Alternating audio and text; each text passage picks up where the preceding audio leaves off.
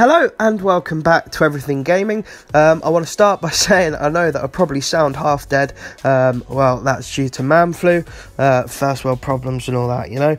But anyway, if you don't like the sound of my voice, just put it on mute and put the subtitles on. Uh, it'll spare you from my dying voice.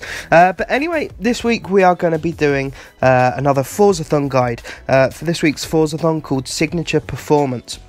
Now, this one basically wants you to use the 1969 Chevrolet Camaro Super Sport Coupe.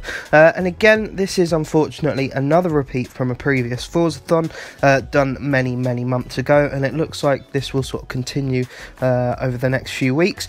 But anyway, we like to do them anyway. So let's get stuck in. Uh, and obviously, first of all, you're going to want to pick the car. Uh, now, I'm sure most of you guys have it, uh, as you just saw there. Um, if you want a tune to use, I've created one called Fastest Tune uh, for you guys to download. Now, the first challenge just wants you to earn 20 great speed skills.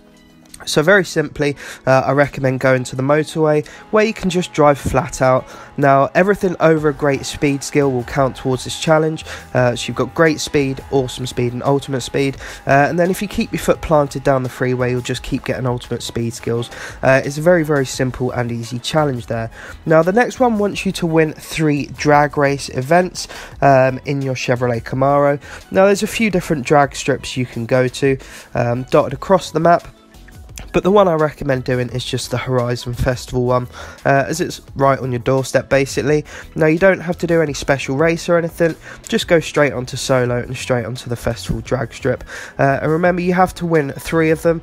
Now, the footage you can see here is from the tune that I've created. Um, again, it doesn't matter if you're online or just doing it on your own, as long as you win three of them in the 69 Camaro, um, you'll be good as gold all good, no problems there. Um, very, very simple second challenge there. Shouldn't take more than about two minutes. Um, like I said, at the festival drag strip, it's right on your doorstep. So it's a nice, quick, and easy one there. Uh, nothing too tricky. Now, the final one wants you to earn a total of five pass skills. Uh, so for this, you can go to any race you want. Uh, but as usual, I went over to the Moorhead Wind Farm Circuit and I just hopped onto a standard race. Nothing special, no special amount of laps or anything. Um, and if you're sort of on the difficulty that I'm on, I believe it's expert on this one. Um, you'll see that you basically start about seven places uh, to the back of the pack so you can easily get five pass skills all you literally have to do, as everyone knows, to get a pass skill is to overtake other racers. Uh, very, very nice, easy, and simple challenge there. So this week's Forzathon should really only take about 10 minutes. Uh, the longest challenge being the first one, purely because it's just a bit time consuming to get 20 great speed skills. Not that it's a difficult challenge at all. Um, but as per usual, I hope this guide helps you guys out. Uh, obviously, I know that you guys probably don't need much help anymore. I'm sure you're all pros at this game by now. Uh, but like I say, if I just help one person out, then I am incredibly happy. Um, if you are new to the channel, uh, I very much appreciate if you subscribed. Uh, and if this video was helpful and you did enjoy it, please don't forget to drop a like.